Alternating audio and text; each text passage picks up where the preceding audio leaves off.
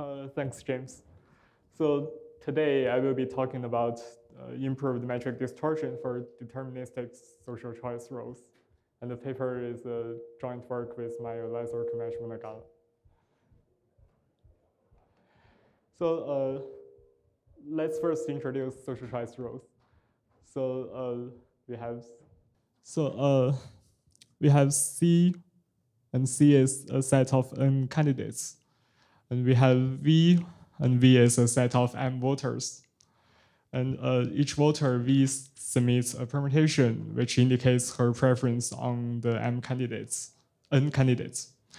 And a social choice rule looks at uh, all the permutations that the voters submitted. And uh, the social choice rule will select the best candidate based on the permutations. And uh, let's look at an example. So uh, there are three voters and uh, there are three candidates, uh, the three sports. So uh, the three people want to uh, play some sports during the weekend, and uh, there are three candidates. So they may play soccer, they may play basketball, or they may play table tennis. And each voter will submit a permutation. So for example, the first voter may think the best option is to play soccer and the second best option is to play basketball. And the, the worst option is to play table tennis. And uh, for the second voter, he may think that uh, it's best to play table tennis and second best to play soccer and the, the least best to play basketball. So uh, the social choice rule will look at all the permutations and uh, it will output a single candidate, say uh, they will play table tennis in the weekend. And uh, there's a utilitarian view of the social choice rules. So uh, we assume there are cardinal utilities underlying the ordinal preferences. So there are numbers. And a typical objective is to maximize the sum of utilities of the voters. And uh, in 2016, Procaccia and Rosenschein showed, uh, de defined the notion of distortion of social choice rules. And it's defined as the worst case ratio between the objective value that the, the rule achieves and the optimal one. And the worst case is over all the cardinal preferences uh, that are consistent with the given ordinal preferences. So, so the, the ranking is the same. And uh, the, the bad news is it has been established that uh, for many common rules, the, the distortion is unbounded. And uh, for any social rule, even if it's randomized, it still has a distortion of uh, on, on, the order of square root of n.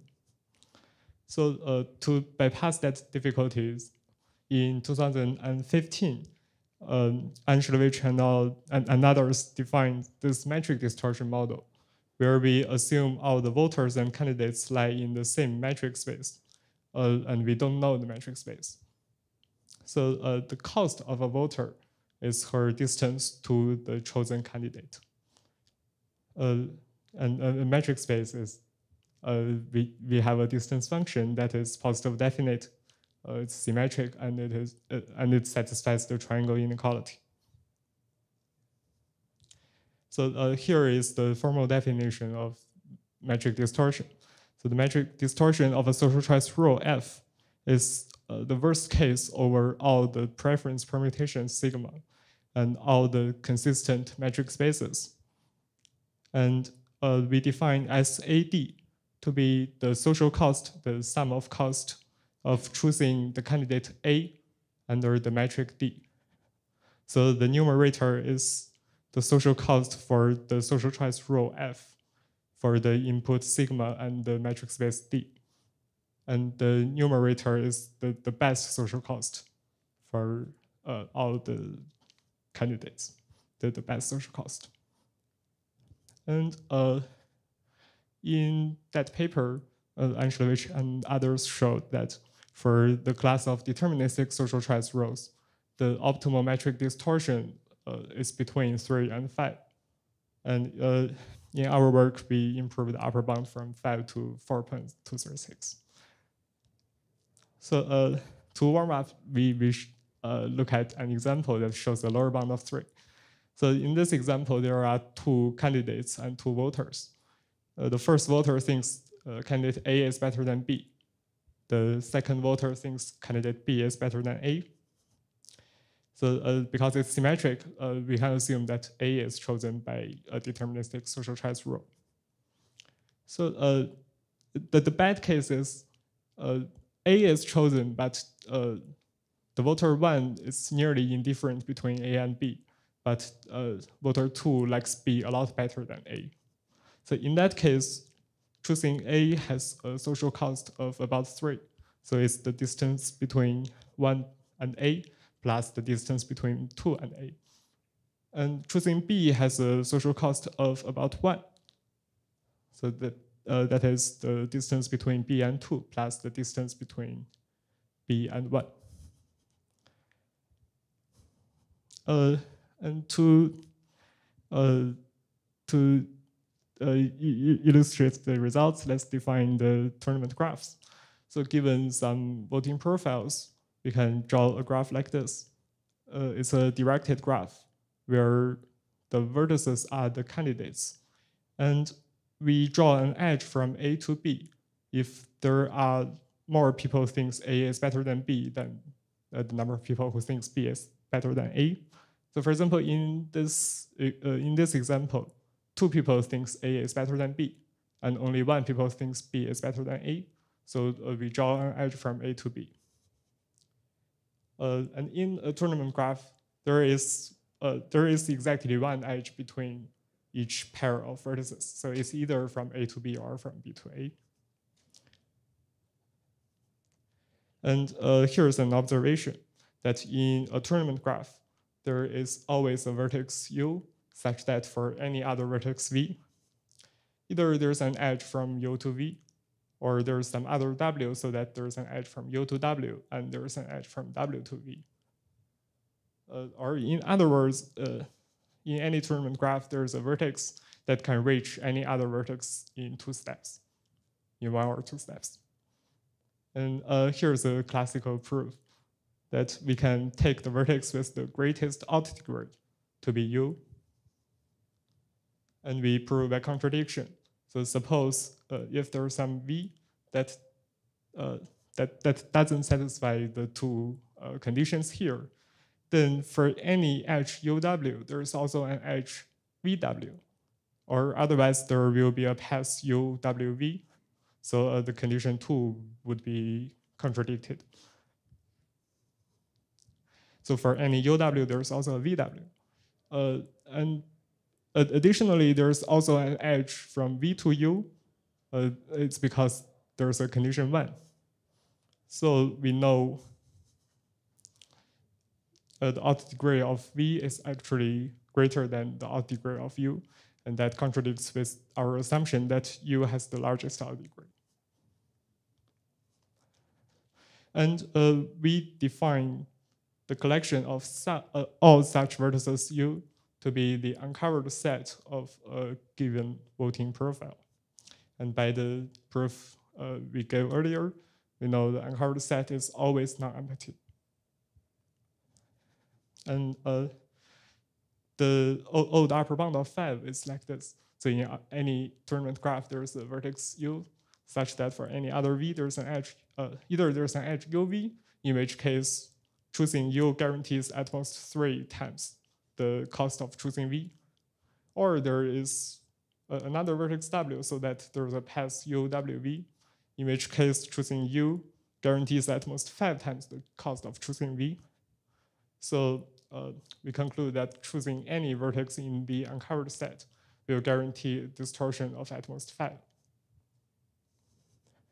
And in particular, the Copeland rule which selects the candidate that has the largest out degree in the tournament graph, uh, is, is in the uncovered set, so it guarantees a distortion of five. Now, uh, to improve the bound, uh, we introduce this uh, weighted tournament graphs. So uh, it's like this. Uh, it's still a, a directed graph, and the vertices are candidates. And um, there's always an edge from A to B. and the weight is the fraction of voters who thinks A is better than B. So for example, here, uh, because two thirds of the people thinks A is better than B, we uh, we assign two thirds weight to the edge AB. And um, we generalize the notion of weighted uncovered set. So fix a constant lambda greater than half. And in a weighted tournament graph, there's always a vertex u, such that for any other vertex v, in uh, either the edge uv has weight of at least 1 minus lambda, or there is another vertex w such that the first edge from u to w has weight of at least 1 minus lambda, and the second edge from w to v has weight of at least lambda. So uh, when lambda is half, uh, the notion is just the unweighted uncovered set. Uh, we call this thing the lambda weighted uncovered set. And we can show the weighted uncovered set is also non-empty. So uh, here is a proof. Uh, we still prove by contradiction. Assume there's no such U. So uh, choosing the first candidate is not good because there's some second candidate that violating the conditions. So we know um, the weight from x1 to x2 is less than 1 minus lambda, or, or otherwise the first condition will be violated. And uh, choosing the second candidate is also not good because there's some third candidate that violating the conditions. So um, we have this edge from the second candidate to the third candidate. We know the weight is less than 1 minus lambda. And so on. So we got a cycle like this. And then uh, we write this ak to be the weight of the edge from x1 to xk. We know a2 is less than 1 minus lambda, and that is less than lambda. And the last one, ak, is greater than lambda. It's because uh, the weight from xk to x1 is less than 1 minus lambda. So um, we, we look at the sequence a2, a3 to ak. It jumps from below lambda to above lambda. So there must be some place that uh, aj minus 1 is at most lambda, while aj is greater than lambda. But in that case, this xj cannot cover xj minus 1 because we can go from xj minus 1 to x1, then to xj. So uh, the first edge, xj minus 1, x1, has weight of at least 1 minus lambda. And the second edge from x1 to xj has weight of at least lambda. So, uh, okay, uh, so there is a contradiction here. We know uh, uh the J's candidate can't cover the J minus 1's candidate. And uh, we can actually show setting this lambda to the golden ratio will improve the distortion to uh, 2 plus square root 5. So uh, that's our main result. And uh, next, we may think from, uh, we want to close the gap. So uh, the previous class of rows cannot beat this 2 plus square root 5 uh, and we may want to get a better upper bound or lower bound. So we introduce another class of rules that, uh, that is called the matching uncovered. So uh, just for definitions, we write PVX to be the set of candidates that voter V likes at least as much as X. And QVX to be the set of candidates that voter V likes at most as much as X. Uh, and for any voting profile, we can draw a bipartite graph like this. So uh, the vertices are the voters, and uh, the graph is called GAB. Then the, the left-hand side are P voter B. Uh, and that denotes, uh, for example, P1B is the uh, candidates that voter 1 likes at least as much as B. And on the, uh, on the right-hand side, the sets are QIA. And we draw an edge if the intersection of the two sets are, uh, is non-empty. And uh, for example, in this graph, we know there's a perfect matching here. And uh, we can show if there is a perfect matching in the bipartite graph, then the cost of choosing A is at most three times the cost of choosing B. And uh, we define the notion of matching uncovered set, which uh, consists of those candidates so that any other, uh, for any other candidate B, GAB has a perfect matching. And uh, we conjecture that the matching uncovered set is not empty. And if the conjecture is true, then we know selecting anything in the matching uncovered set will guarantee a distortion of three. And uh, equivalently, we can uh, write the conjecture like this. So let's see the set of candidates be x1 to xn. And we conjecture that at least one of the following bipartite graphs, g x1, x2, g x2, x3, and so on to g xn, x1 has a perfect matching. Uh, but unfortunately, we cannot show whether it's true or false. Uh, we can show it holds when the number of candidates plus the number of voters is at most 14. It's verified by experiment. And we can show it holds when the, uh, the weighted tournament graph is cyclically symmetric. Okay, so uh, that's our result. And uh, let me introduce some related work.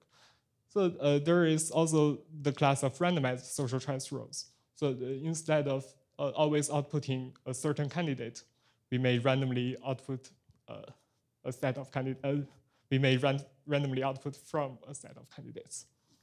So uh, in that case, we also know a lower bound of two. So there's also two voters and two candidates. Voter one thinks A is better than B, and voter two thinks B is better than A. And the best thing one can do is to uh, choose A with probability of half, choose B with probability of half. And the upper bound here is three by random dictatorship. So we randomly pick a voter and outputs the favorite candidate of hers. Uh, so in this setting, there's still a gap between two and three. And also we can consider other problems in the metric distortion framework. For example, um, we can consider the minimum weight matching problem.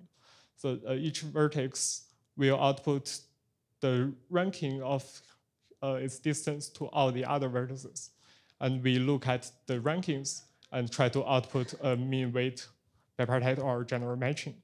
So uh, that's also a reasonable problem. Uh, that's all, thanks.